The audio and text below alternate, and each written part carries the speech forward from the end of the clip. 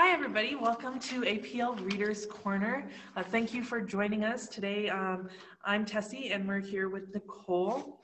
Um, so, for we've decided to switch things up with Readers Corner. So now we're doing it monthly, um, which we um, mentioned at our last Readers Corner last month. Um, but for September's um, Readers Corner, we were reading Moon of the Crusted Snow by Waubgeshig Rice. I mispronounced his name, I think. Waubgeshig Rice. Yeah. Um, so this was a really interesting book, but if this is the first time you've joined us for Reader's Corner, um, basically for Reader's Corner, we have a book discussion about the book that we are reading month um, for the month.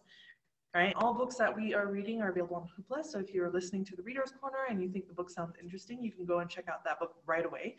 Um, and now for Reader's Corner, we have a new element that if you guys want to join us in the discussion before we have our recording or our live, you can um, check out our Facebook. We have a Facebook post every month with some questions. And so you can read the book along with us during the month and answer the questions. Let us know what you think about the book. Um, and we'll talk about it during our Reader's Corner.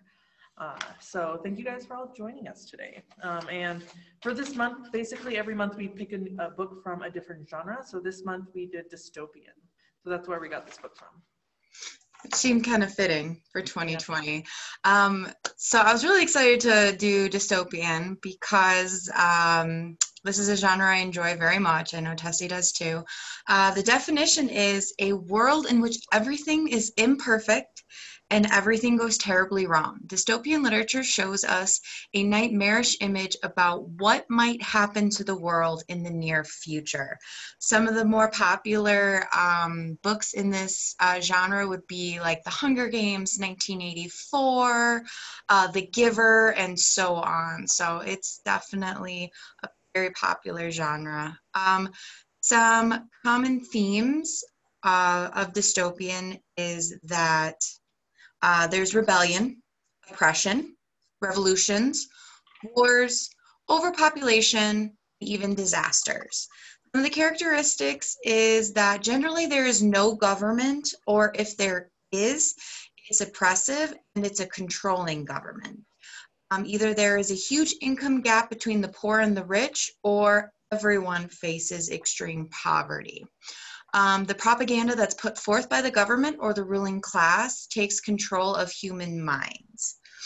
Um, and then something I thought was interesting was the function of dystopia. So, dystopian authors really want to express their concerns about the issues of humanity and society, and they want to warn people about their own weaknesses. Um, their technique is to discuss reality and depict issues that could actually happen in the future.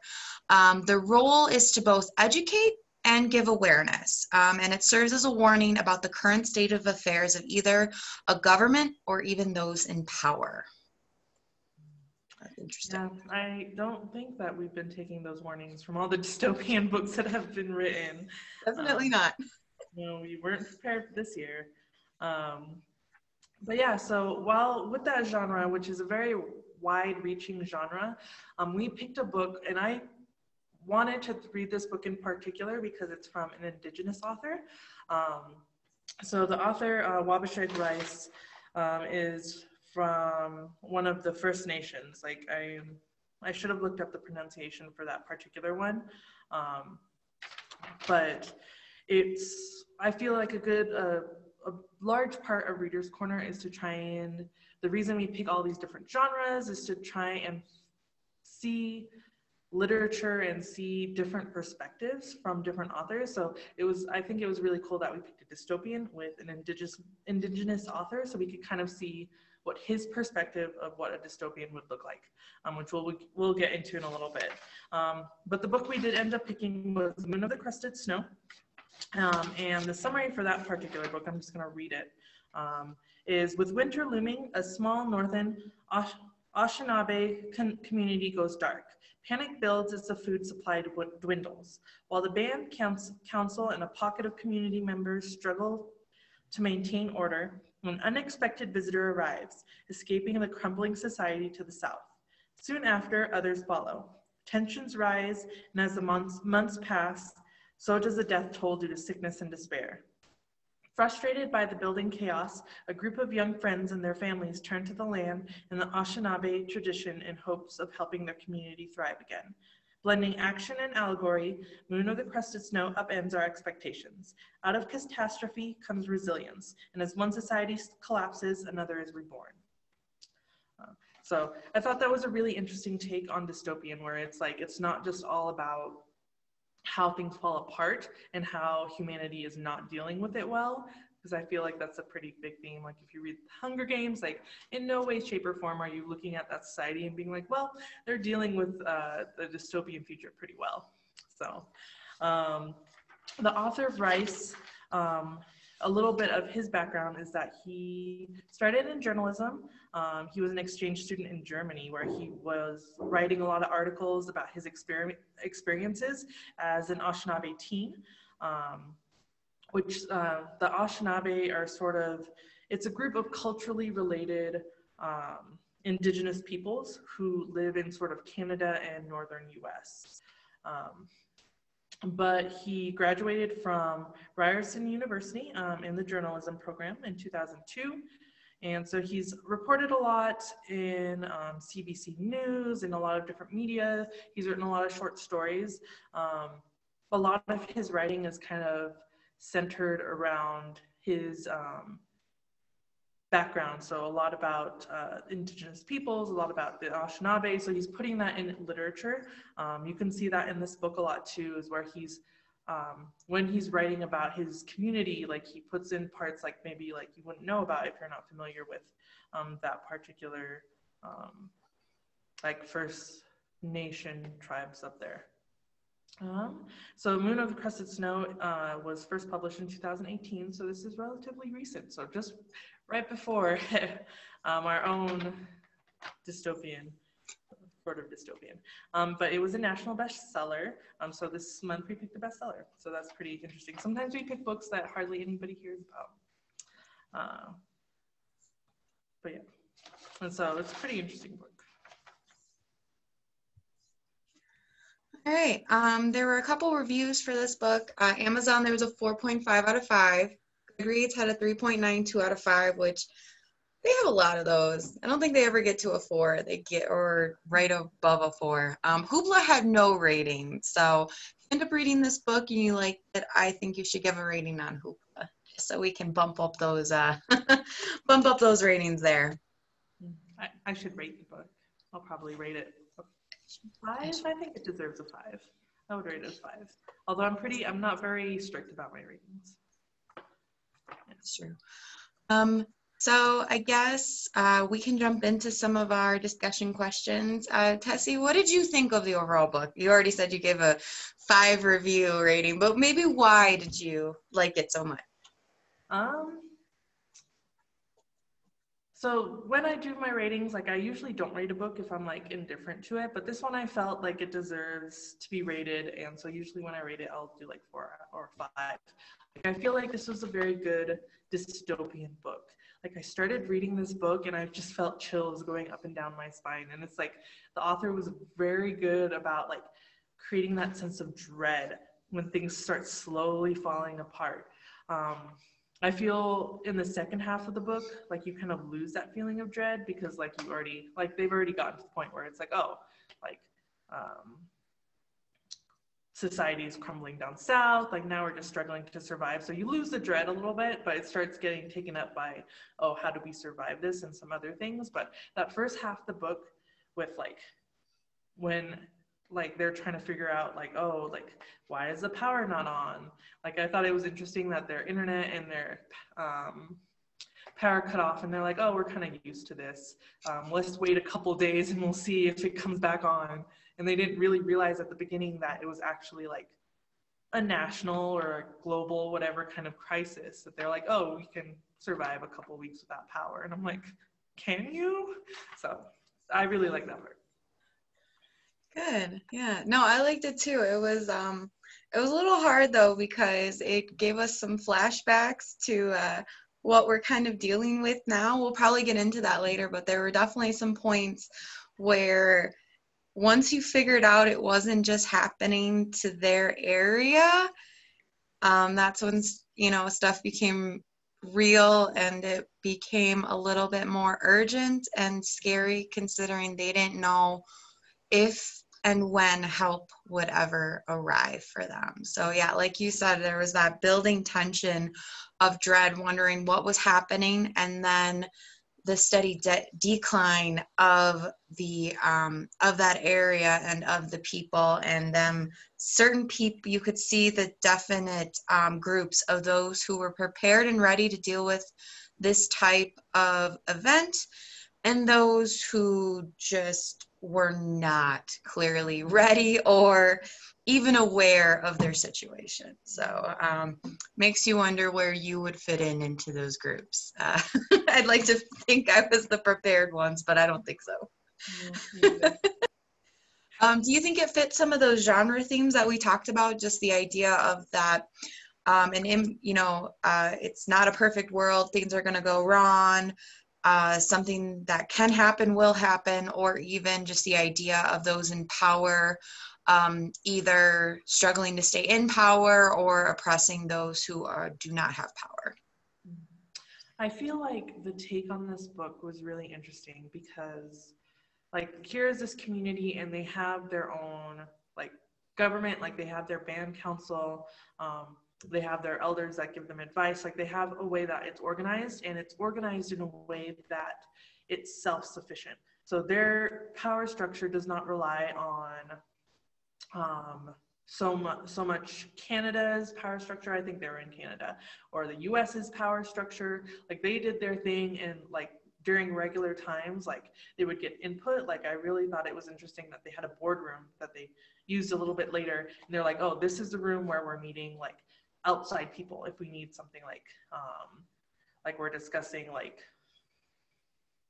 I don't know what they were discussing, but things like when outside people would come in, they would discuss it, then they would leave. So they were very self sufficient in that way. And I thought it was really interesting that um, the only failings, I think, in their power structure was more that they had a leader, Terry, I think his name was, that while he was fine as their chief during normal peace times, during a crisis, he was like falling apart. Like he just could not handle it. And other people picked up that slack. Um, I think the really interesting thing that kind of makes it, other than like the crisis situation, that makes it a dystopian is um, Scott, which I think we'll talk about a little bit later some more. Um, mm-hmm. But Scott is basically uh, a guy from down south during the crisis he's like probably a prepper survivalist kind of person. He like comes into town like a week after the crisis or two weeks a couple weeks um, all prepped with his snowmobile and all his ammo and his guns basically and all his stuff. And he's like can i live with you guys? And they're like um i guess. Uh, which and it's like trying to see him vie for power in their community was really interesting. Um, and I think the author was trying to like, um, he said in an interview that it was like his, like it was like a allegory or a metaphor for colonialism, where you have this big white dude come into this um, uh, indigenous people's First Nation and try and power play. So it's kind of like that dynamic was really interesting. Yeah, definitely. Um, Okay, so let's get into some questions. So, in dystopian scenarios, there's a loss of individualism. Uh, that can be a reoccurring theme. How important is it for people to have a choice? And how do you think this loss of individualism portrayed in this book?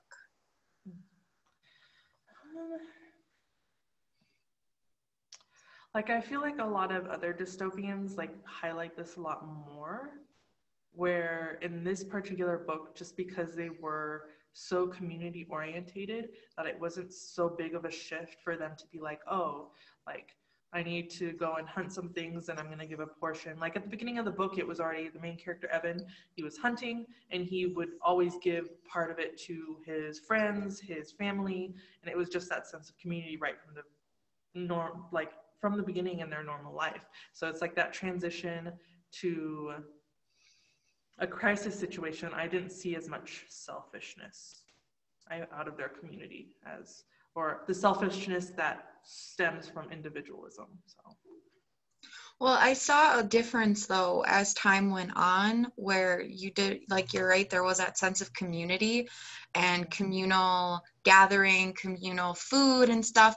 But then I almost think that as time wore on and some of those people who weren't as prepared were panicking and freaking out, they became less about the community and clearly more about themselves, but it was only certain groups of people, like Evan and the tribe elders and um, the chief or the council.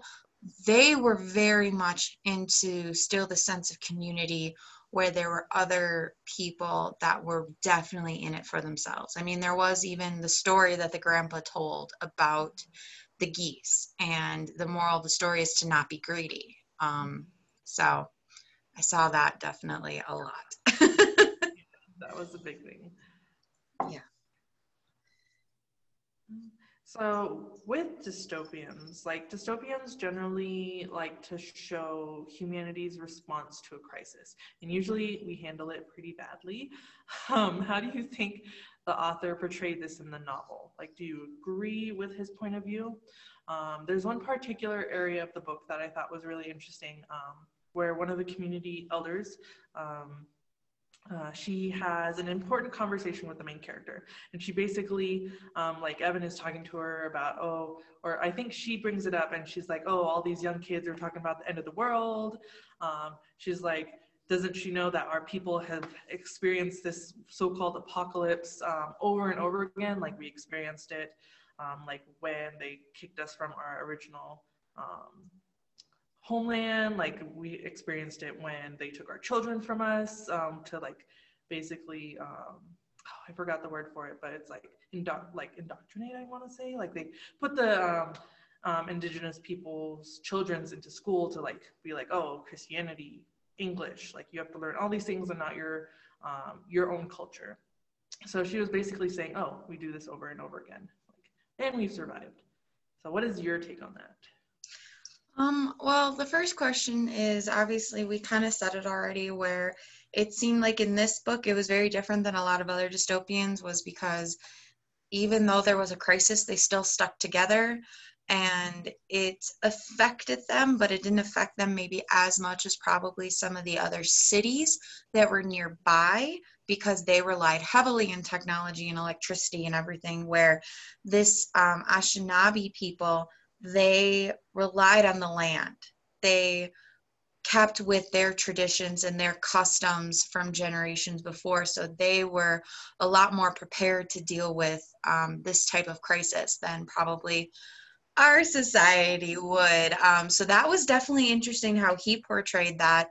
And um, I think I agree with him that there might be, like I said, there's groups where there are groups that will survive and that will endure the hardest events and there were some that just might not be able to handle it.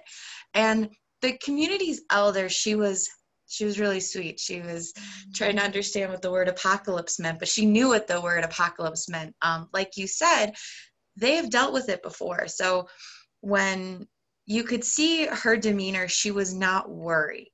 She knew that in the end her people would survive um, because they have. They've endured this time and time again from being forced out of their own land into another land that they had to make their own and again and again and again.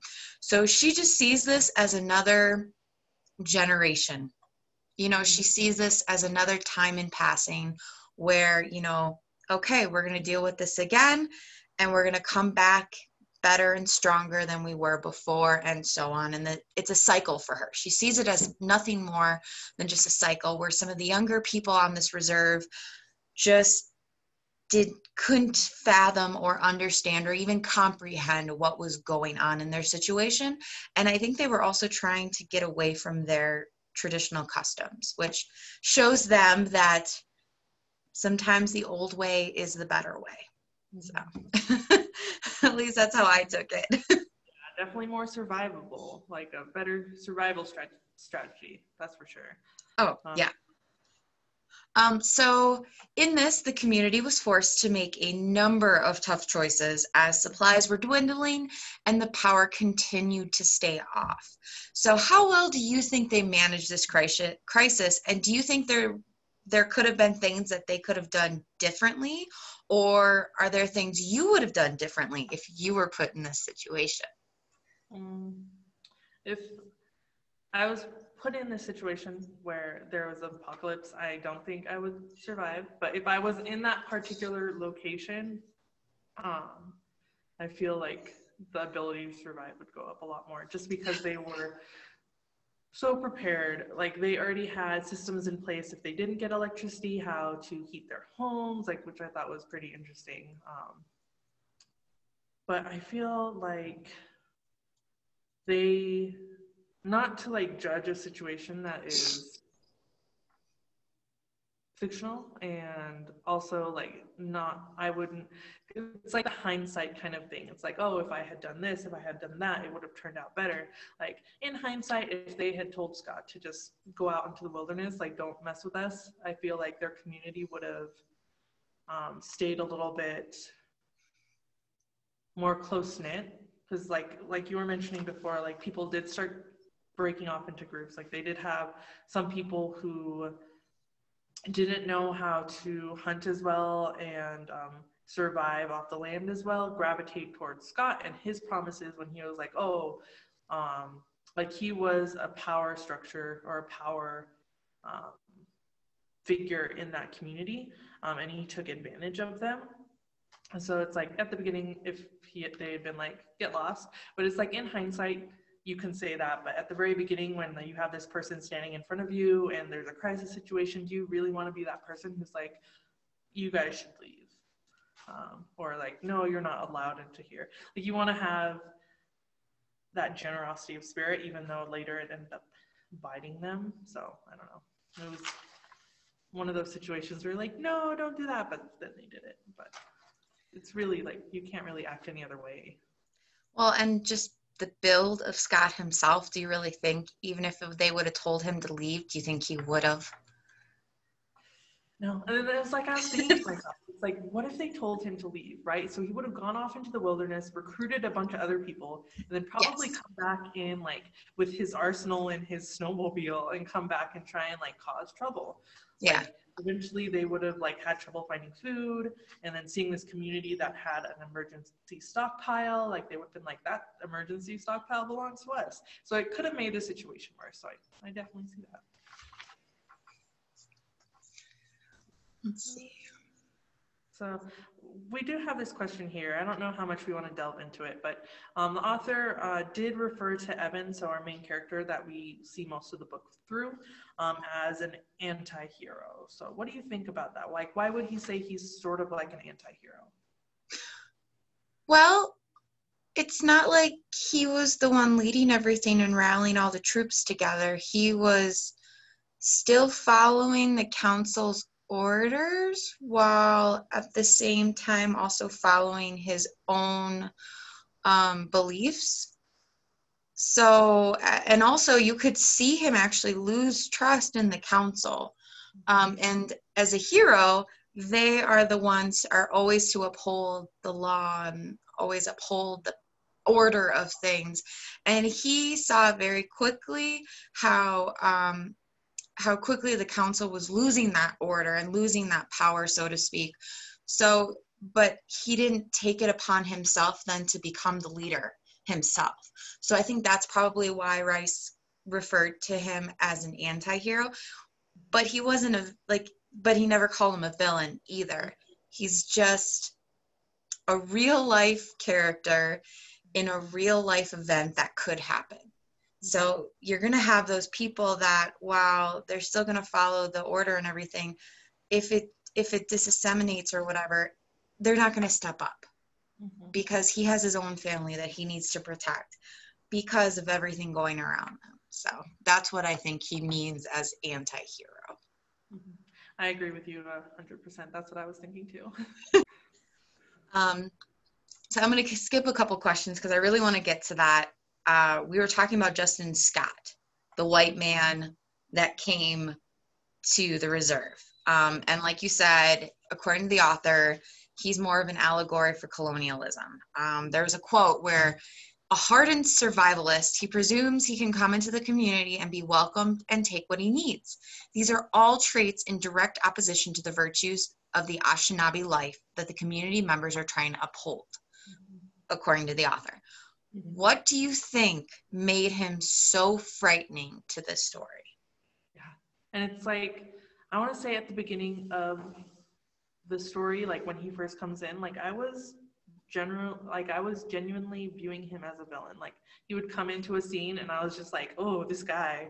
Um, a little bit later, um, when he ends up pushing some of the, like a little bit of a spoiler, like pause if you don't want to hear it, um, or mute. But a little bit of a spoiler is that he ends up pushing some of the community members into cannibalism, um, which is like once he resorted to that, like the author put that in there because he was um, like he says that he was trying to um, put in some of the some folklore from the Anishinaabe people about the Wendigo. So that's why Evan has that dream that Scott looks like a werewolf sort of creature, like creature coming to eat people. Um, but it was like when it got to that point, he didn't seem as scary because he seemed more controllable. Like, oh, you finally crossed the line where you've done something so bad we can like get rid of you, which they did.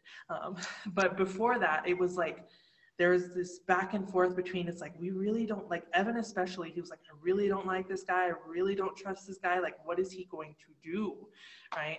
And it's like you could tell that he was up to no good um, because he tried putting himself in where he was not welcome. And you could tell from the very beginning that he was not respectful of their community and their ways. So you just knew that he was going to do something.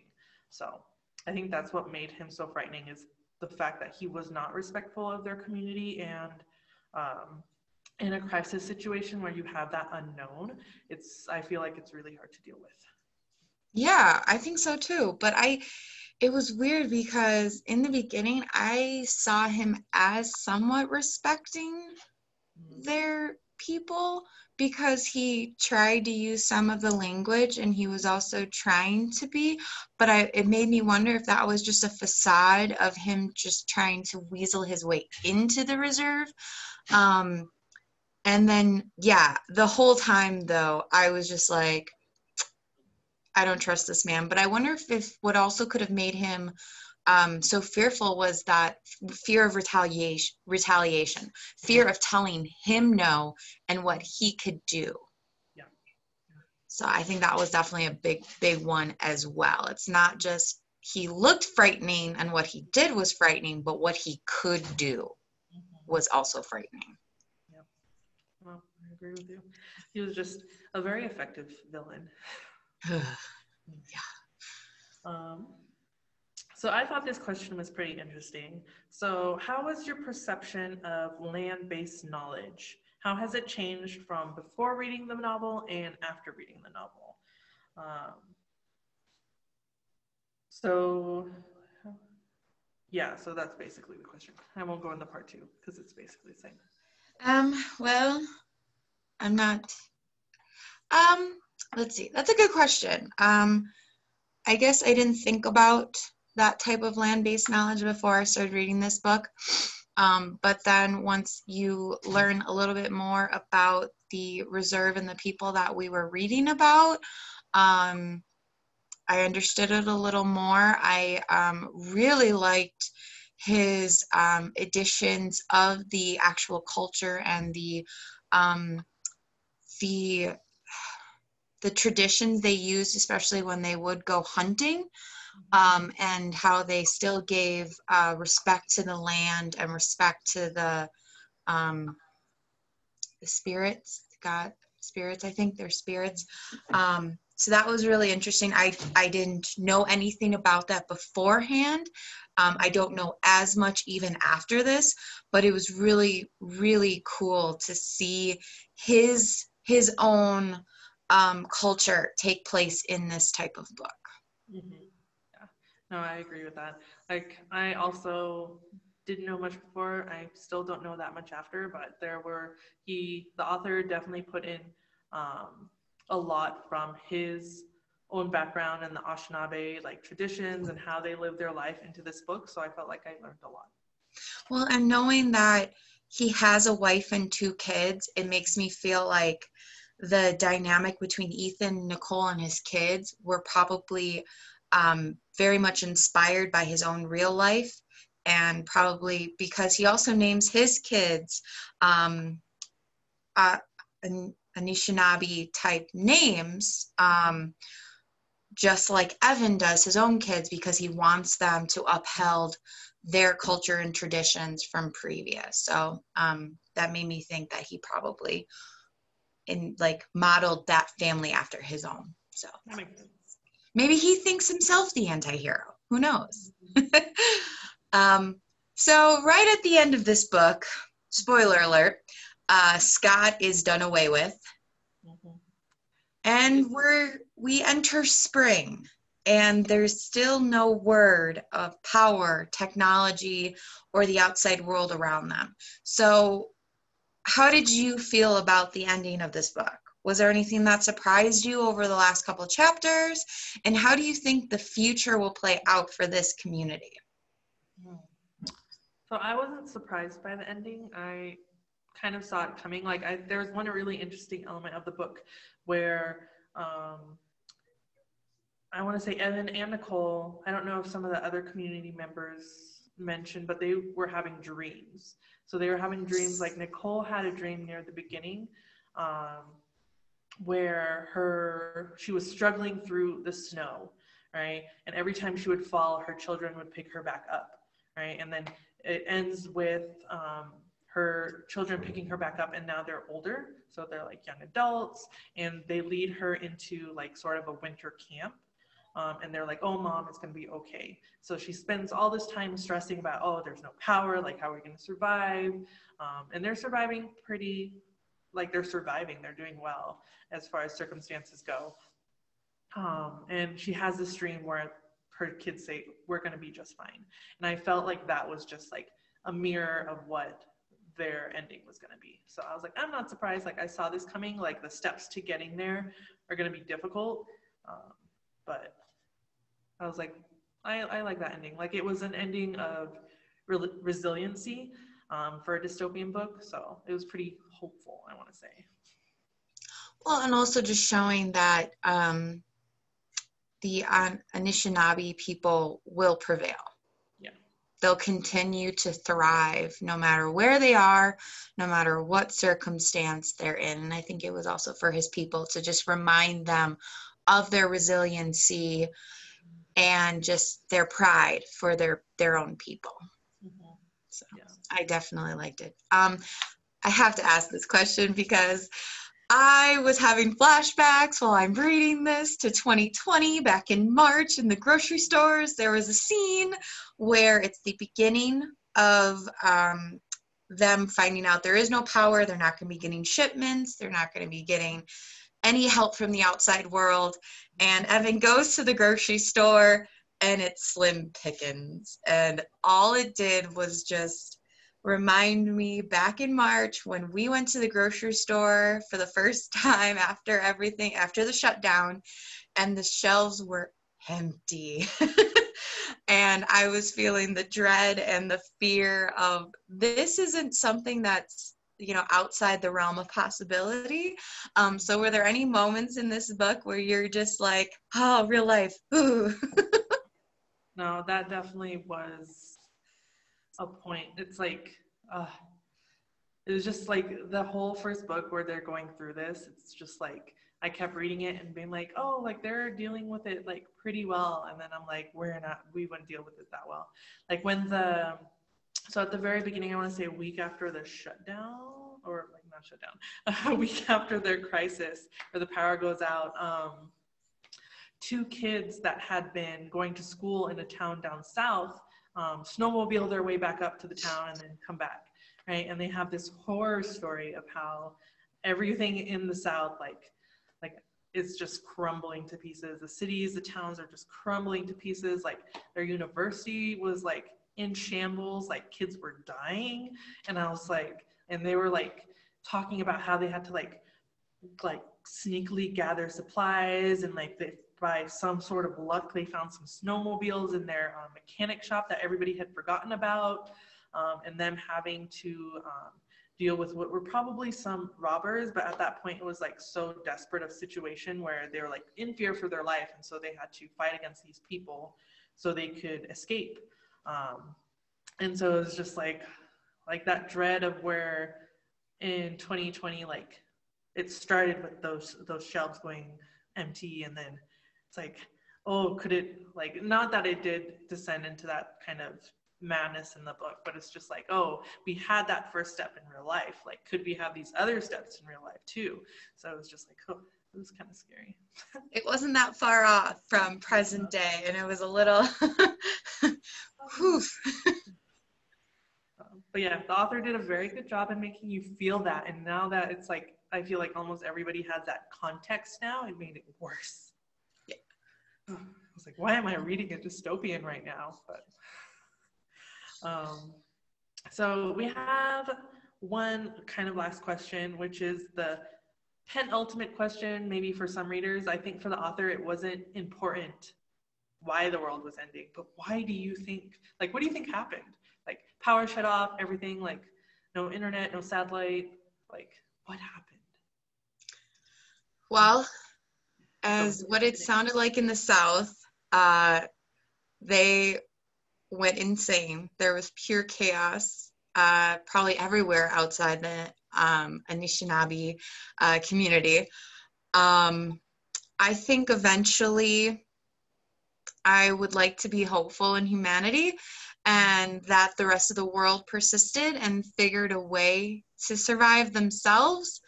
Um, but I think I think the idea is that you just want to have hope in your community and your people that they they continue to thrive at thrive at the same uh, rate as the Anishinaabe community, although I have a feeling they probably prevailed a lot more just because they have dealt with uh, similar circumstances before. Mm-hmm. Yeah. I wonder if it was like a solar flare or something like that that just knocked out the power. Yeah. It's pretty interesting what if scenario. I feel like some communities would deal with it better, especially like the uh, um, Anishinaabe, um, probably the rural areas would be a lot better than mm-hmm. the dense packings of cities and towns. So you would see the um, the dependence on certain people change. So it would be like less on the government and more on like the farmers and stuff, kind of like what we saw uh, present day where we relied heavily on our first responders and our essential workers. So I think there was probably be a shift, just like we see right now. Yeah. Hope for the best. But prepare for the worst. Yeah. but overall, I thought it was a good book and I really enjoyed it. Mm-hmm. Definitely re- recommend reading it. It was a very good, it was a different take to a dystopian that I really enjoyed. Definitely. Well, thank you guys for all joining us for Reader's Corner. Um, next month, we're going to be um, reading for October Gideon the Ninth. So it's a sci-fi fantasy book. I'm really excited about that one. Um, it has a lot of LGBTQ elements in there. So I'm like, oh, cool. Um, and um, I've forgotten the author off the top of my head, but we will be posting discussion questions on Facebook. So if you guys want to read along and join us and tell us what you think about the book, definitely do that. And um, we'll be doing these monthly from now on. Don't forget to check out Story Times uh, every day at 10 a.m. And next Friday, our brand new program again, APL Made in a Mug at 1 p.m. So Nicole did the last one, and the cake looked delicious. I it looks so good. It looks so good. So, so good. definitely check those out. We're doing a lot of virtual programming stuff, so um, it's a lot of fun if you just take a look at our Facebook page. Yeah. All right. Well, thank you everybody for joining us, and I hope you have a wonderful rest of your day. Thanks. Bye.